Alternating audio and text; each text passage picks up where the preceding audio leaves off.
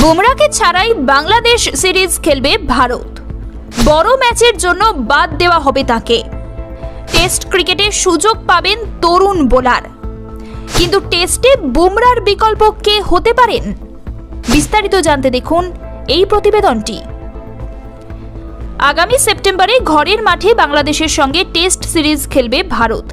একজোড়া টেস্ট ম্যাচে মুখোমুখি হবে দুই প্রতিবেশী দেশ। তাই আসন্ন এই সিরিজের জন্য দল তৈরির কাজ চলছে বোর্ডের অন্দরে। আর সেখান থেকেই এবার এসে গেল এক বড় আপডেট। শোনা যাচ্ছে যে আসন্ন এই সিরিজে ভারতের প্রধান ফার্স্ট বোলার বুমরাকে না খেলানো হতেও পারে।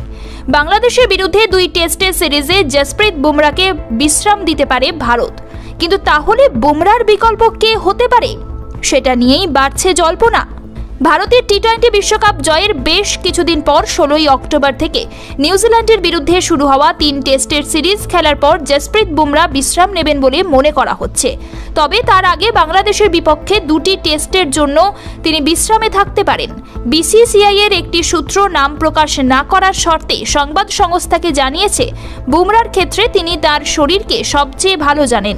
বাংলাদেশের বিপক্ষে টেস্ট খেলতে চাইলে সেটা তার উপর নির্ভর করবে।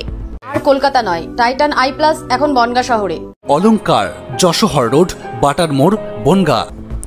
সেই কারণে আসন্ন এই সিরিজে ভারতীয় টিম ম্যানেজমেন্ট এবং নির্বাচকরা দলের পেস আক্রমণে আরও বৈচিত্র্য আনতে চাইছেন। তাই এমন একজন বাঁহাতি ফাস্ট বোলারকে খুঁজছেন তারা যিনি সুইং করতেও সক্ষম। পারফরমেন্স এবং অভিজ্ঞতার ভিত্তিতে নির্বাচকদের কাছে বুমরার রিপ্লেসমেন্ট হিসাবে দুটি বিকল্প রয়েছে। এর মধ্যে প্রথমে রয়েছেন অর্শদীপ সিং তিনি টি টোয়েন্টি ফরম্যাটে নিয়মিত খেলেন দেশের হয়ে। এছাড়াও, এই তালিকায় কিছুটা অনিয়মিত খলিল আহমেদকেও রাখা হয়েছে। অর্শদীপের ক্ষেত্রে লাল বলের ক্রিকেটে তাকে নামানোর ভাবনা রাহুল দ্রাবিড়েরও ছিল। এদিকে খলিল অনেক উন্নত মানের বোলার, কিন্তু তার মধ্যে অনিয়মিত হওয়ার প্রবণতা রয়েছে। তাই বাঁহাতি পেসারের জন্য যশ দয়ালকেও ভাবা হতে পারে। তবে তিনি এই দৌড়ে খলিল এবং অর্শদীপ পিছনে রয়েছে। কিন্তু শেষমেশ কে সুযোগ পাবেন সেটা বলবে সময়